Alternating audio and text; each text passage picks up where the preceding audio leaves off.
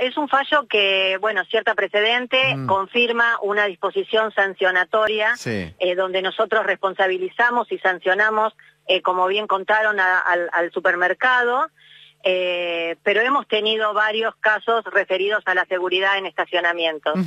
Y lo que tiene de interesante esto es que nos lleva a reflexionar eh, qué derechos tenemos como consumidores. Sí, claro. Porque cuando nosotros dejamos un auto en un estacionamiento, ¿para qué lo hacemos?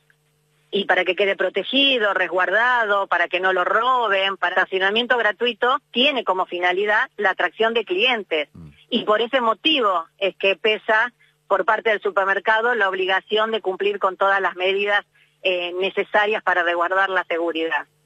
Alcanzaría si uno no tiene el ticket, digo, ¿no? Por, es aplicable a, a otros supuestos. Si no Sí. te tenés el ticket, te serviría la factura de compra en Ajá. el supermercado, Claro. porque el, el estacionamiento es como un contrato accesorio al principal, que es lo que vos vas a hacer en el, en el supermercado. Mm. Y una cosa que hay que remarcar, que en consumidor se invierte la carga de la, de la prueba. Ajá. Sucede lo mismo que en derecho laboral. Sí. Entonces es el proveedor quien tiene que demostrar que fue así o que no fue así. Ajá. El consumidor afirma un hecho y es el, el- la otra parte quien tiene que demostrar y aportar toda la prueba.